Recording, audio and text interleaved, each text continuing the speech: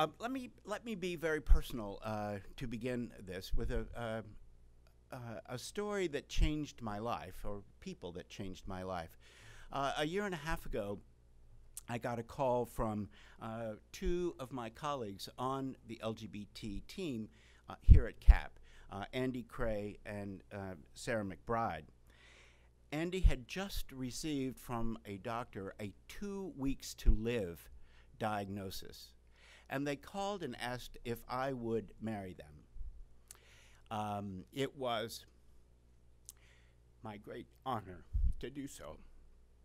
And in about four days, um, those of us on the LGBT team and many of Andy and Sarah's friends put together a wedding. We thought we might actually go into business, like wedding in a week. Doesn't that sound like something you would uh, purchase?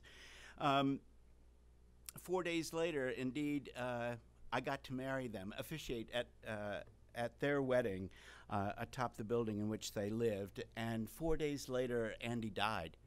And two days later, we buried him. So those of us who planned that wedding also planned that funeral. But for me, being welcomed into that community by mostly transgender people uh, was uh, an astounding uh, moment in my own life. And I learned so much. Um, and they gave so much to me in the middle of that um, tragic and, and, and, and sad event.